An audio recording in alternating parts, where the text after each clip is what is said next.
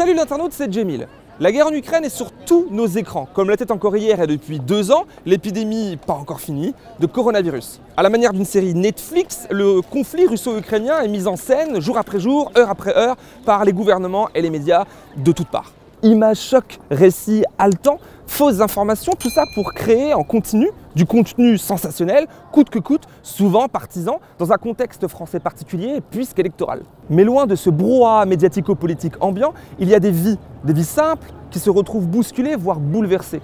Comme celle de Yulia, Yevgeny, Maria et Matvi, une femme, un homme et leurs deux enfants de 9 et 6 ans, qui forment ensemble une petite famille ukrainienne, comme il en existe des millions dans le pays, et que nous allons rencontrer dans cette vidéo pour recueillir leurs témoignages. Enfin, surtout celui de Yulia. Car quand la guerre a débuté le 24 février et qu'elle a quitté Kiev, c'est en laissant son mari derrière elle. Le 3 mars, avec ses deux enfants, elle est arrivée en France après plusieurs jours de voyage, mais surtout de réflexion, d'hésitation et un sentiment de vulnérabilité qui n'a jamais cessé de croître. Au moment où nous tournons, nous sommes le 10 mars 2022 et je viens d'arriver à Strasbourg, capitale alsacienne, où Yulia et ses enfants ont trouvé refuge. Allons-y.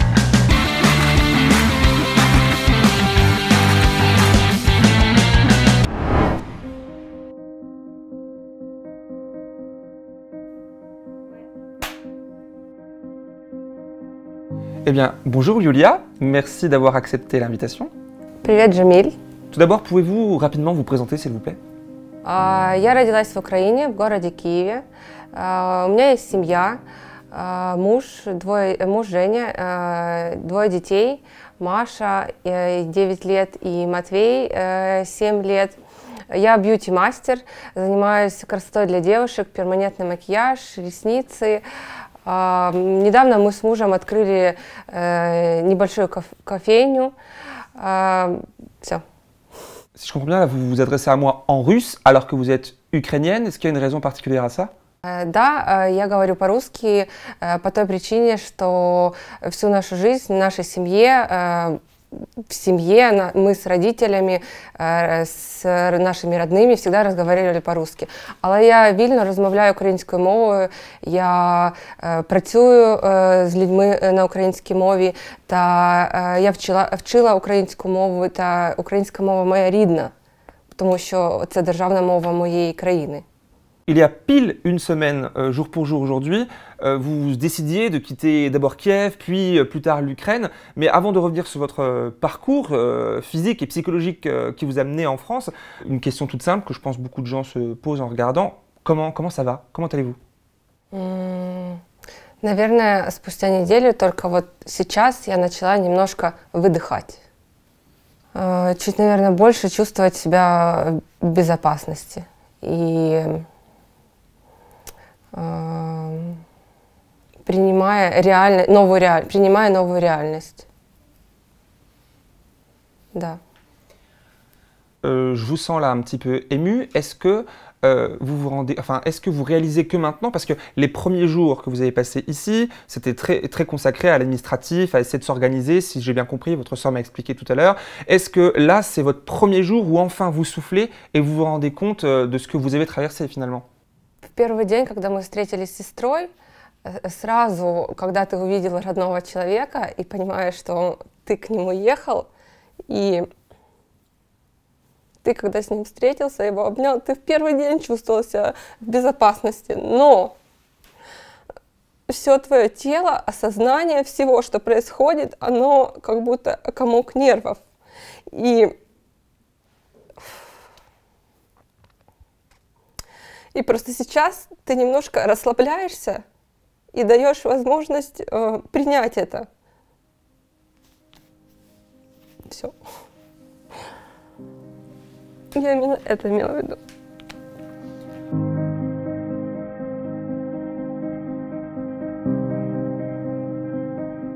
La situation avant le 24, hein, on savait, euh, et vous aussi j'imagine, que les troupes russes étaient déjà présentes depuis longtemps sur les frontières euh, autour de l'Ukraine, notamment celle avec la Biélorussie, et que la guerre aussi faisait déjà rage euh, dans l'est de, votre pays.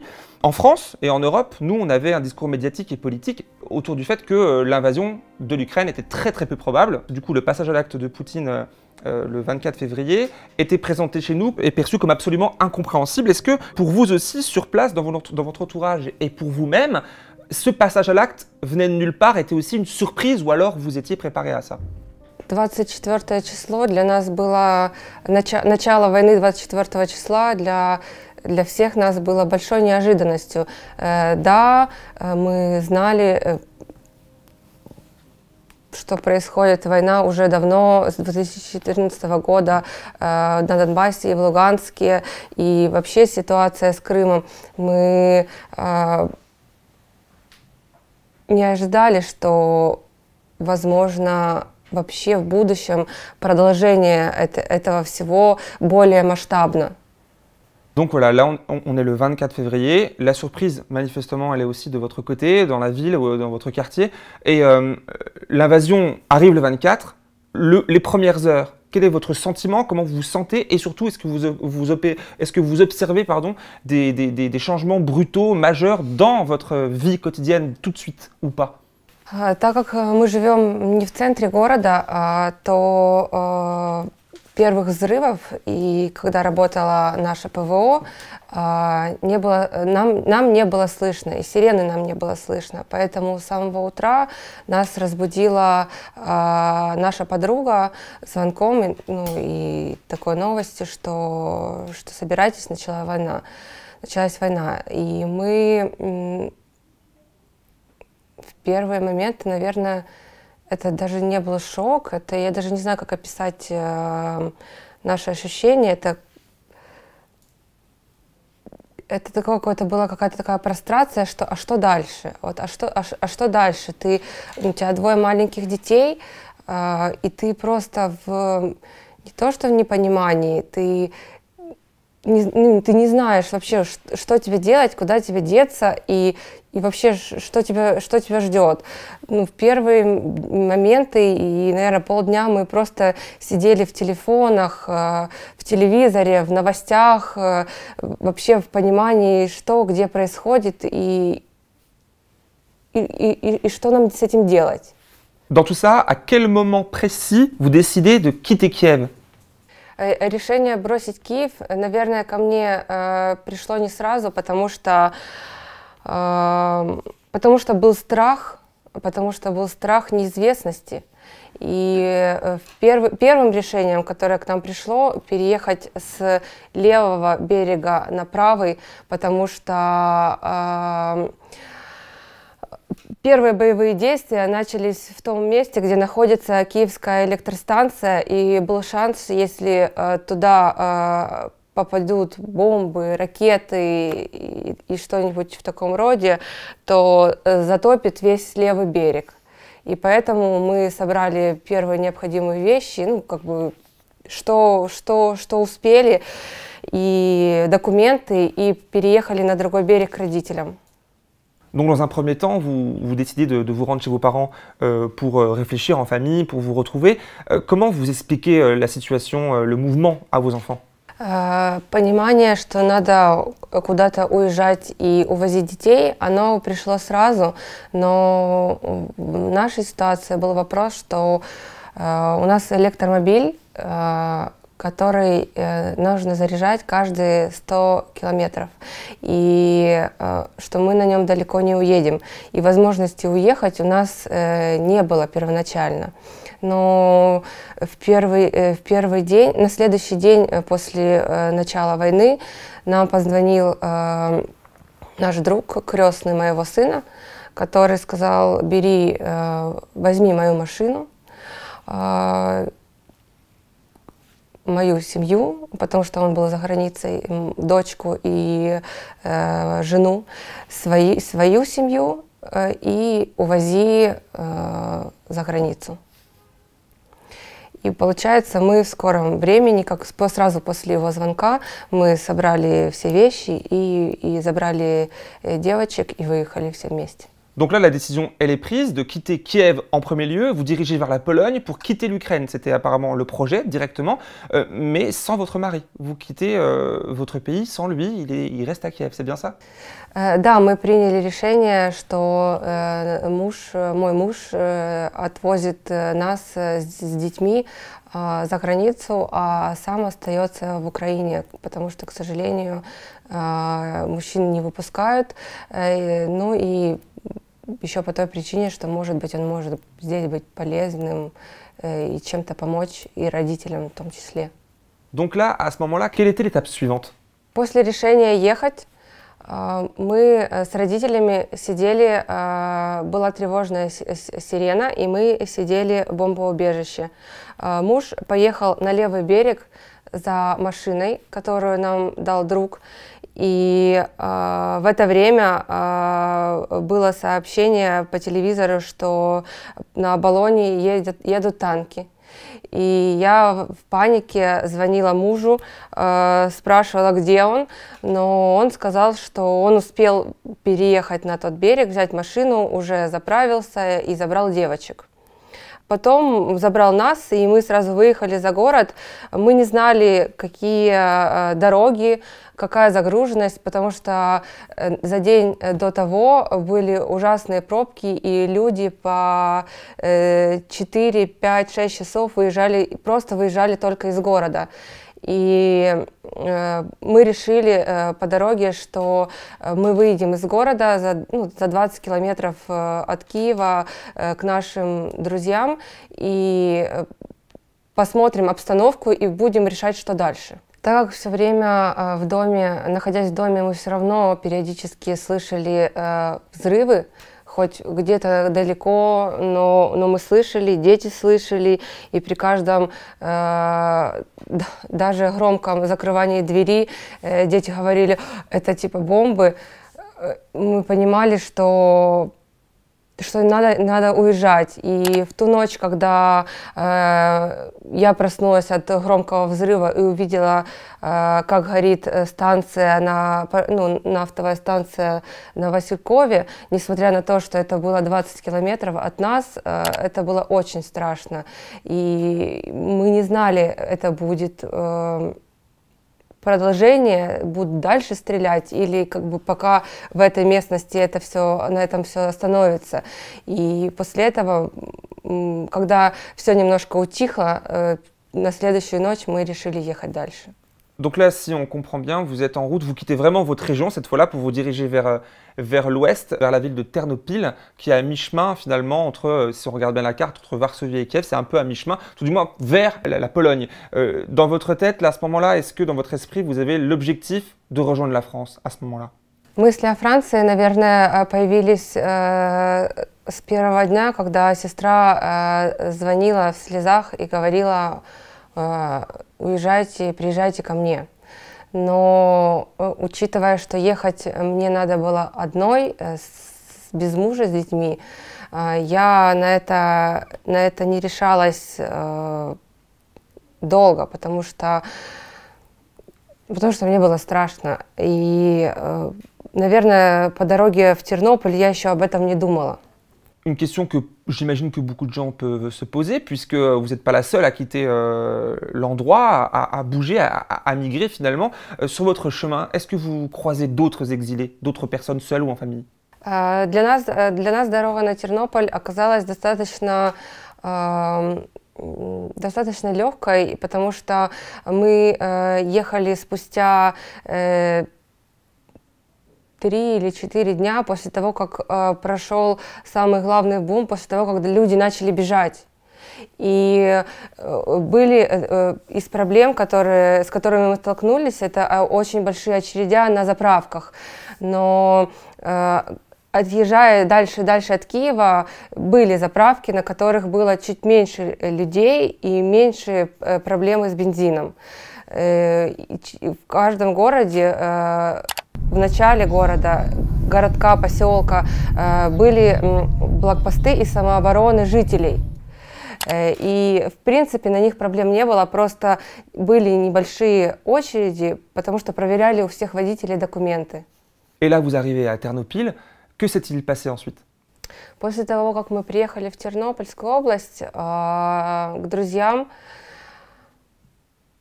мы почувствовали себя на какое-то время в еще большей безопасности, но все равно не оставляло чувство того, что это не все и надо двигаться дальше.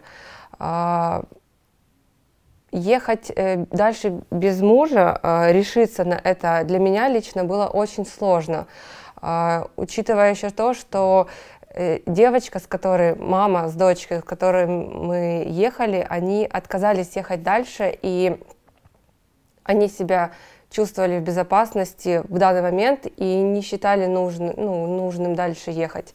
И в какой-то момент позвонил э, знакомый э, сестры и сказал, что узнал, как наши дела, и сказал, что он сейчас э, в Польше э, забирает кого-то из своих из друзей, и если мы хотим, и мы настроены ехать дальше, он может нам помочь и нас забрать.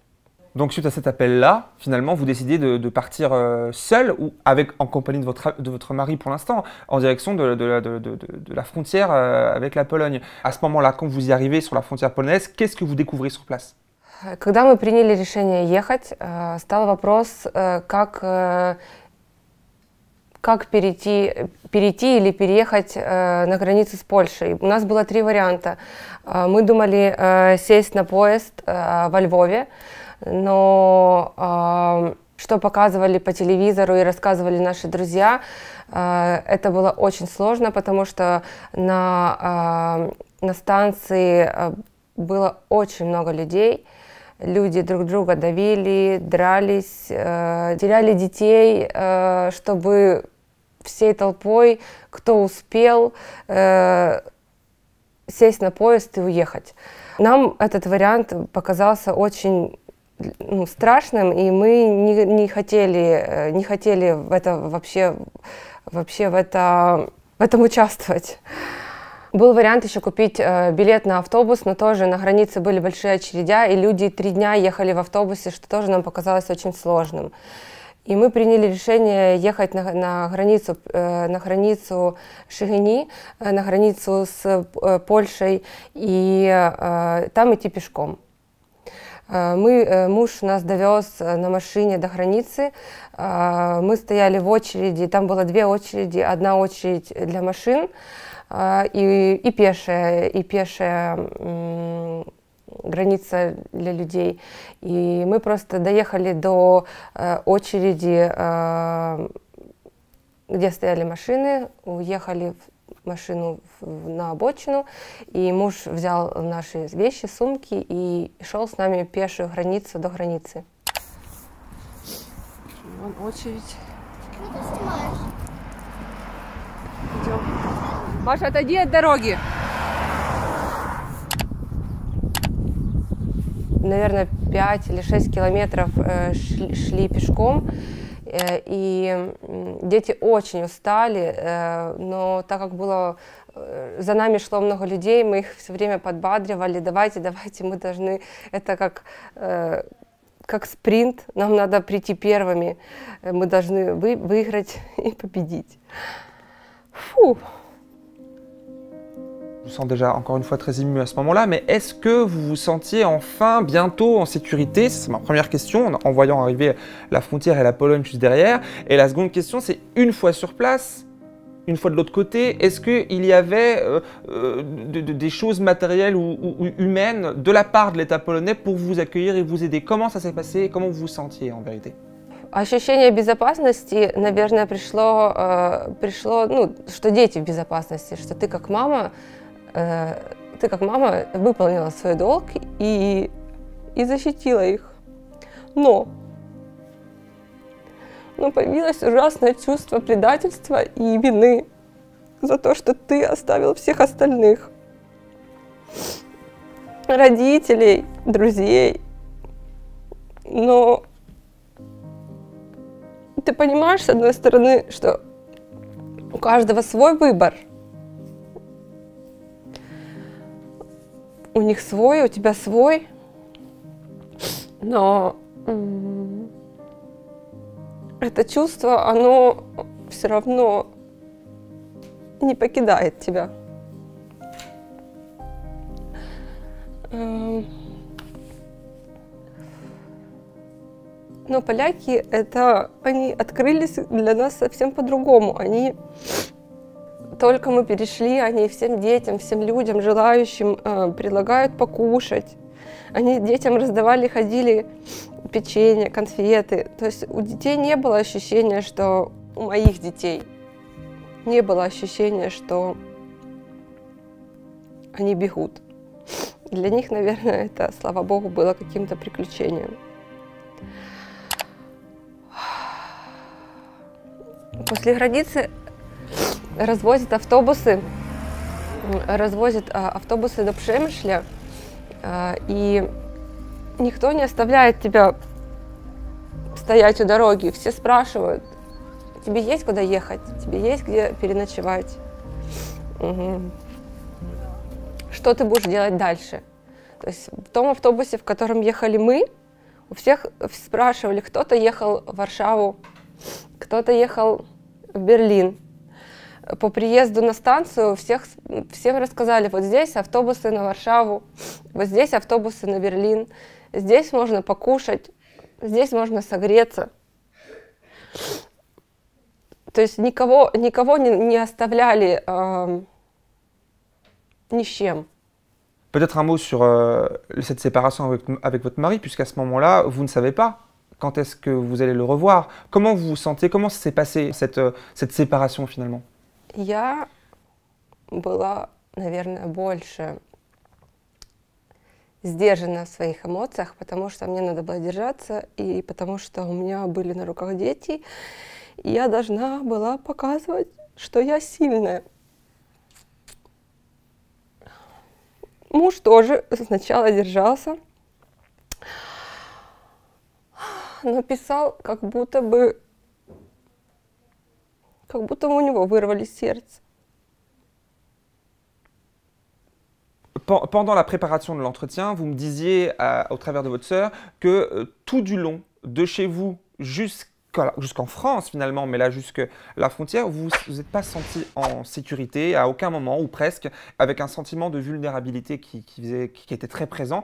Est-ce qu'une fois avec cette personne, cette connaissance dans cette voiture, ça s'est arrangé sur le chemin du jour là jusqu'à la France euh, Мы в машине ехали, ехали два дня, и с одной остановкой мы переночевали на границе с Германией. С нами был еще один мальчик, 17 лет, которого тоже забрал наш знакомый. Он был без родителей, э, его мама осталась э, в Украине. Невероятно я благодарна этому человеку, который нас, эм, наверное, можно сказать, спас. Потому что если бы все-таки Франция была сразу за Украиной, как Польша, я бы, наверное, пошла пешком без него. А так как путь, путь был не близкий, то он, наверное, был ну, решающим двигателем, который помог нам в этом. Но все равно, э, несмотря на это, как бы чувство тревоги оставалось, потому что не было понятно, что будет дальше. Что я, ну, что я должна за эту помощь? Чувство долга, чувство долга, оно не покидало. То есть ты, ты благодарен, но ты не понимаешь, ты в таком каком-то состоянии, ты не, не понимаешь, что ты, что ты за это должен, как ты должен за это отблагодарить. Et vous arrivez en France euh, au bout de deux jours de voyage en voiture. Euh, vous avez cette chance, je pense, euh, vous allez me le confirmer ou non, d'avoir un point de chute ici en France, c'est-à-dire votre sœur Anna qui vit en Alsace depuis plusieurs années. La question est toute simple en fait, est-ce que sans elle, pensez-vous que l'État français était suffisamment organisé, prêt, selon votre expérience, pour vous aider à l'arrivée, comme l'annonce finalement régulièrement notre gouvernement ici et les médias de, ce côté-là, nous, on a cette sensation, on a cette information que tout est prêt, tout est euh, en place pour vous héberger, vous accueillir. Est-ce que ça a été le cas? Comment vous sentez, comment vous avez vécu la chose avec votre sœur et sans votre sœur? Когда нас встретила моя сестра Аня, казалось бы, что вот мы в точке назначения, нас сейчас защитят, примут, но на следующий день началась новая, новая, новый этап борьбы за свое выживание в этом мире. И, конечно же, если бы не она и не, не, не ее парень, друг, э, француз Сирил, э, возможно бы мы не знаю, где бы мы ночевали на самом-то деле, потому что когда мы пришли в префектуру и спросили, а, чем нам могут помочь, ну, какую помощь нам выделить или предложить, э, смогут ли э, нам дать какое-то жилье или возможность работать. Э, нам сказали, что на данный, на данный момент мы можем вас только записать. Информации для, о помощи, для Э, несмотря на то, что уже прошло две недели после войны, э, начала войны, э, мы можем вас только записать. И информации о помощи нет никакой. Vous vivez avec quelles ressources Нам немного денег муж прислал, и в основном это помощь сестры и французских друзей. J'imagine évidemment, et je le souhaite, que vous ayez euh, contact avec votre mari euh, au quotidien euh, au téléphone. depuis la France, on a, on a ce, récit que la population locale est très encline à s'engager dans le combat, dans, dans, dans, dans, la résistance. Comment votre mari voit la chose, l'analyse et, la vie au quotidien là-bas Да, мы каждый день общаемся с мужем. Он очень, очень скучает и грустит без нас. Но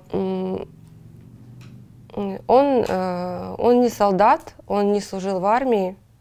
Были ситуации, даже когда вопрос стоял ребром, в том плане, что в нашей семье это э, ну, брать ружье это не, не выход, и мы рассматривали варианты, чтобы быть полезным и помогать стране другими способами. Но он помогает э, стране другими вещами, он занимается волонтерством, он э, остался в Тернопольской области, и он э, следит за тем, как, кому какая помощь нужна, и, и помогает людям другими вопросами. on se dirige un peu vers la fin de notre entretien. si on prend un peu de hauteur sur la situation qui est la vôtre, euh, à l'heure où nous parlons, là, à l'heure où nous tournons, le 10 mars aujourd'hui, euh, débutent les premières discussions diplomatiques entre les deux ministres, alors euh, le ministre russe et le ministre ukrainien des Affaires étrangères, en Turquie, à l'initiative du président turc Antalya.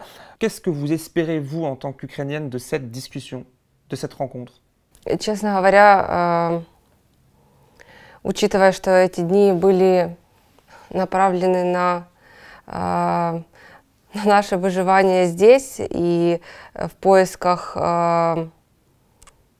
нашего будущего, так сказать. Я первый раз услышала об этом вопросе, об этой ситуации и встрече от вас. Единственное, чего я жду и ждет весь народ Украины, это, наверное, о конце войны, а о том, чтобы российские солдаты ушли во свояси с нашей земли и оставили нас в покое. Это, наверное, то, о чем молимся мы каждый день, думая о своих родителях, которые там остались. Pour finir, ou quasiment, ça fait une semaine, jour pour jour, que vous êtes ici. Comment vont vos enfants Parce que c'est quand même très important. Comment vont-ils Est-ce qu'ils vont être scolarisés pendant le temps de leur séjour ici Première question. Et seconde question, comment vous, dans cette situation-là, qui, qui, est encore loin d'avoir une porte de sortie, vous vous projetez Est-ce que vous vous projetez ici en France ou retourner chez vous Comment vous voyez ça Мы максимально э, прикладываем все усилия, чтобы дети чувствовали себя хорошо, И э, в этом большая помощь и поддержка Ани, моей сестры, и ее парня Сирила. Они, мне кажется, э, приложили не то что максимум усилий, а все усилия для этого. С первого дня э, решили, ну, Сирил сказал, что дети должны ходить в школу, дети не должны чувствовать себя обделенными, не должны чувствовать никаких, э, никакой разницы, где, бы, ну, где они живут. Э, и всю неделю эту мы уделили этому организационному моменту, собирали по всему городу все документы, бумажки, справки э, для того, чтобы оформить детей в школу. И вот в понедельник, 14 марта, они идут в школу вдвоем, благодаря Сирилу и Ане. Ну, а что касается меня и моего будущего, я готова работать, я готова, в принципе, насколько это возможно, жить дальше полноценной жизнью, если мне дадут такую возможность и шанс. Это единственное, что я сейчас хочу, это вернуться на свою родину, где нет войны, и когда закончится этот ад, чтобы, чтобы счастье снова вернулось на Украину. И я хочу жить в своем доме и выбирать, куда мне поехать в гости, а не вынуждена бежать туда, где мне будет спокойно, мне и моим детям. Et eh bien voilà, on a terminé notre entretien. En tout cas, euh, je tenais à vous remercier, euh, Yulia, de, de, la sincérité avec laquelle vous avez fait euh, preuve pour répondre à mes questions. Et je ne peux que euh, être tout aussi sincère de mon côté, de mon côté pour vous souhaiter ben, le meilleur pour euh, votre mari, vos enfants, votre famille euh, et les souhaits que vous avez formulés là, face à moi. Спасибо, что, что вам не все равно. Слава Украине!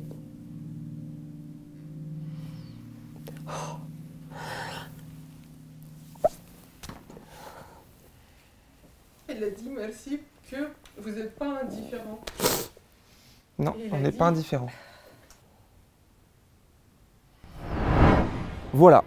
Si, comme moi, vous avez apprécié cet échange, sachez que c'est vous, et uniquement vous, qui par vos dons réguliers, avez permis sa réalisation et son organisation. L'information indépendante a un coût, toujours plus élevé. Alors pour pouvoir continuer, j'ai besoin de ton aide. Rendez-vous sur jemil.fr soutenir pour effectuer un don à partir de 1 euro, ponctuel ou mensuel.